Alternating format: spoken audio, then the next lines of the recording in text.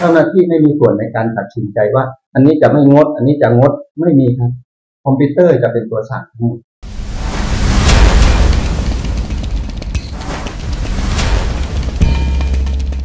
แล้วก็มีมาตรฐานของสัญญาที่ถูกออกมาโดยคณะกรรมการกำกับกิจการพลังงานนะครับ คณะกรรมการกำกับกิจการพลังงานเนี่ยเขาจะมีมาตรฐานสัญญาการใช้ไฟฟ้าอยู่นะครับมาตรฐานสัญญาการใช้ไฟฟ้าข้อสำคัญที่เกี่ยวกับ มื่อกี้ที่เราพูดว่าทำไมแปดบาทก็งดทำไมหนึ่งเดือนก็งดเขาเขียนไว้ว่ามาตรฐานสัญญาเนี่ยเขาเขียนไว้ว่า ข้อที่หกนะครับกำหนดระยะเวลาชำระค่าไฟฟ้าไม่น้อยกว่าสิบวัน นับจากวันที่ลงไปในใบแจ้งค่าไฟฟ้า โดยหลังจากนั้นหากยังไม่มีการชำระการไฟฟ้าจะต้องมีหนังสือแจ้งเตือน ให้ชำระอย่างน้อย 5 วันจึงจะงดจ่ายไฟได้ ก็เป็นที่มาของการไฟฟ้ามาออกแบบโปรแกรม 21 วัน จึงไปงดนะครับ เพราะฉะนั้นผู้ใช้ไฟฟ้าที่เข้าเข้าหลักเกณฑ์นะครับชำระภายใน 10 วันหรือขยายเวลา 5 วัน จะไม่ถูกงด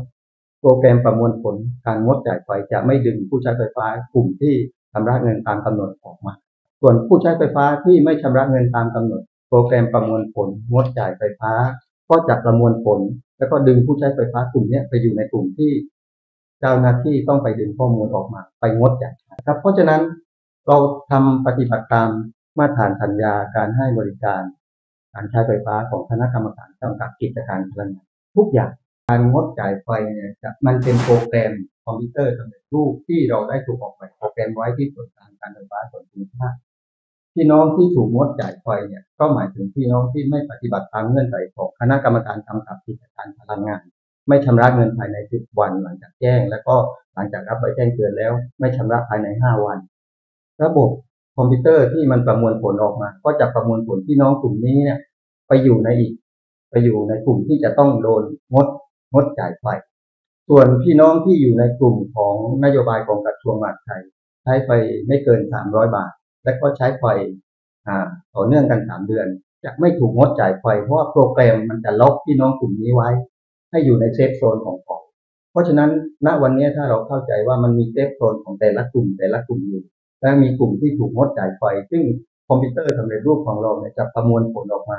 เจ้าหน้าที่มีแค่ใช้ทีโคดของตัวเอง ไปดึงข้อมูลออกไปปฏิบัติเท่านั้น เจ้าหน้าที่ไม่มีส่วนในการตัดสินใจว่า อันนี้จะไม่งด อันนี้จะงดไม่มีครับ คอมพิวเตอร์จะเป็นตัวสั่งทั้งหมดเราจะใช้แค่ทีโคดรหัสพนักงานเข้าไปดึงข้อมูลเท่านั้นเองเมื่อ หลังจากเกิดเหตุแล้วเนี่ยเราก็ได้สอบถามข้อมูลแล้วแล้วก่อนสอบถามก่อนก่อนที่จะสอบถามข้อมูลเขาเราก็ได้ให้เจ้าหน้าที่ที่ดูแลไปดึงข้อเท็จจริงในระบบงานของเราใบแจ้งเตือนทุกใบเนี่ยจะต้องถูกส่งถูกถ่าย แล้วก็โหลดเข้ามาอยู่ในระบบงาน เพราะฉะนั้นทุกบ้านเล็กที่ที่เขาไปเนี่ยก็จะมีใบแจ้งเตือนในระบบงานนะครับ แล้วก็จะติดไว้ที่หน้าบ้านถ่ายรูปถ่ายถ่ายรูปประกอบแล้วก็โหลด โหลดรูปภาพเข้าโปรแกรมเพราะฉะนั้นเราก็จะไปดึงมาตรวจสอบ ทุกบ้านที่ที่เกิดเหตุนะ ทุกบ้านที่เกิดเหตุ เรามีข้อมูลทั้งหมดเรามีข้อมูลการไปยืนถ่ายรูปที่หน้าบ้านการไปส่งเอกสารที่หน้าบ้านเพียงแต่ว่าเราไม่อยากทั้งเติมพี่น้องประชาชนณวันนี้ก็ถือเป็นโอกาสที่ดีที่ที่ผู้สื่อข่าวเข้ามา เราก็อาศัยช่องนี้เลยครับ ขอบคุณที่ผู้สื่อข่าวเราไม่อยากให้ชาวบ้านเนี่ยรับทราบเรื่องพวกนี้เพราะว่า ในสภาพเศรษฐกิจสังคมก็ก็ลำบากนะครับเราไม่อยากให้ของเราไปกระทบคนอื่นนะครับก็ขออาศัยช่องนี้ก็เป็นระบอกเสียงให้เราหน่อยในสภาพฝนตกอาจจะแจ้งอาจจะงดอาจจะไม่สะดวกเมื่อเราไปแจ้งเราไปปิดประกาศหรือเราไปแจ้งเตือนแล้ว บางครั้งผู้ใช้ไฟอาจจะไม่อยู่ที่บ้าน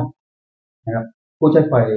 จำนวนมากปฏิบัติงานหรือไปติดต่อไปทำงานอยู่ที่ต่างจังหวัด พอกลับมาเนี่ยกระบวนการมันเลยไปหมดแล้วนะครับ กระบวนการมันเลยไปหมดแล้วงานงดจ่ายไฟที่เกิดขึ้นนะครับ มันเป็นเช่นนี้เอง เพราะฉะนั้นจึงจึงที่ผมฝากข่าวไว้ตั้งแต่ต้นว่าช่วยประชาสัมพันธ์ครับ ขอให้พี่น้องทันทีที่ท่านได้รับใบแจ้งหนี้ค่าเกษตรไฟฟ้าท่านตัดสินใจได้เลยตรงนั้นว่าท่านมีภาระการใช้จ่ายอย่างอื่นดูแลลูกหลานใช้จ่ายในชีวิตประจำวันที่สำคัญกว่า ก็ขอเข้ามาติดต่อเราขอผ่อน ได้เจ็ดวันขอผ่อนชำระหนี้ได้สามเดือน โดยวงเงินอนุมัติของผมไม่จำกัดสำหรับผู้ใช้ไฟประเภทรายย่อยนะครับก็ขอฝากมติชนออนไลน์สื่อออนไลน์คุณภาพนำเสนอครบทุกประเด็นสำคัญ ให้คุณไม่พลาดทุกสถานการณ์ อย่าลืมติดตามคลิปดีๆ สาระความบันเทิงข่าวด่วนแบบฉับไว กับมติชนออนไลน์ได้ทุกช่องทางนะคะ